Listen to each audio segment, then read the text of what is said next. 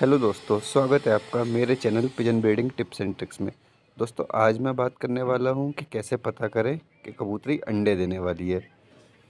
तो दोस्तों, ये जानने के लिए वैसे तो कई सारे तरीके होते हैं और हर भाई अलग अलग तरीके से चेक करता है। पर दोस्तों, मैं कोशिश करूँगा कि इसमें आपको सबसे ईजी जो दो तीन तरीके हैं, वो मैं आपको बताऊँ, जिससे आप ईज़िली पता कर सकें कि कबूतरी अंडे देने वाली है या नहीं।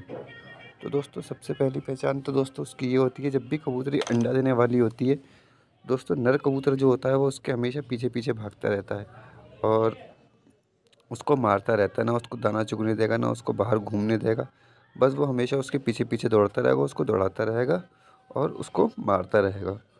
और दोस्तों सेकंड चीज़ जो होती है दोस्तों, कई बार ऐसा भी होता है कि मतलब कबूतर इतना बेवकूफ़ होता है या उसको नहीं पता होता है या वो कम एज का होता है वो पहली बार मीटिंग कर रहा है। तो दोस्तों कबूतर हर बार ऐसा नहीं करते हैं।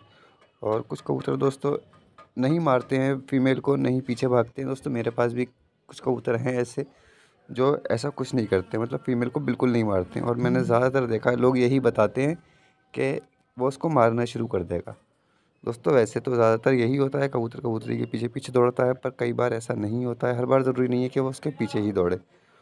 और दोस्तों, मैं आपको सेकंड चीज़ जो मैं आपको बताना चाहूँगा, वो मीटिंग से मतलब मीटिंग होने के बाद दोस्तों, आप जब अंडे देने पर आ जाइए कबूतर तो दोस्तों, एक को एक चीज़ आप नोटिस करेंगे कि उसकी जो दुम है ना, वो दोस्तों अक्सर नीचे की साइड झुकी रहेगी।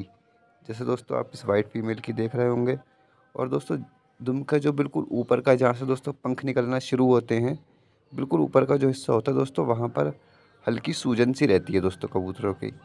वो दोस्तों हमेशा ही मतलब जब भी फीमेल अंडों पर आएगी दोस्तों, वो एरिया उसका थोड़ा सूज जाता है।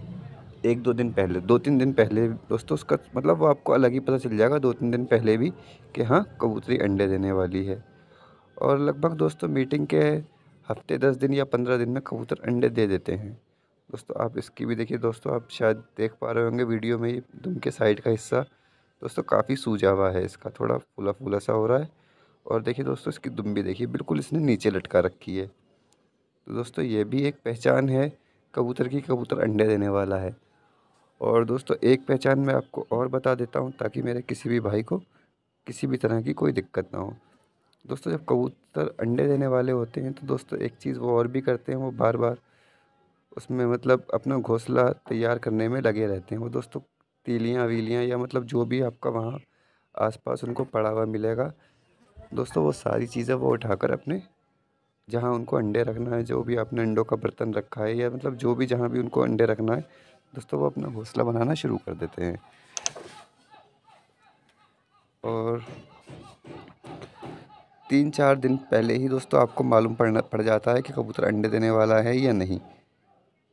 और यही, दोस्तों, बस दो तीन तरीके हैं, जिससे आप जान सकते हैं कि आपकी कबूतरी अंडे देने वाली है।